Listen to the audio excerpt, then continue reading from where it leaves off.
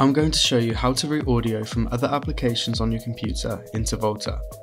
If you're on Mac, you will need to install some additional software to allow you to route audio between applications on your computer.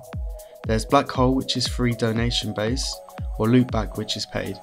They both enable routing audio between applications.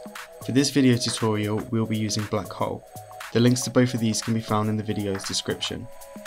When downloading BlackHole, you can either download 2 channel, 16 channel or 64 channel versions. Any version is fine as long as you use the same version throughout the tutorial. We would recommend the 2 channel version unless you have a specific reason for using the 16 or 64 channel versions.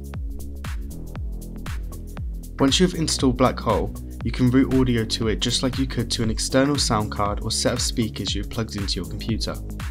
For applications in which you can set the output device directly, such as Ableton Live, select BlackHole 2 channel from the Audio Output Device drop-down in Preferences. For applications which use your computer's default output device, such as Spotify, Apple Music or your web browser, go to your Mac system settings via the Apple icon in the top left corner, then Sound and Output and select BlackHole 2 channel. Start the audio playing from your other application. In Volta, open settings by clicking the cog icon in the top right corner. Select audio and set your audio input device to be BlackHole 2 channel.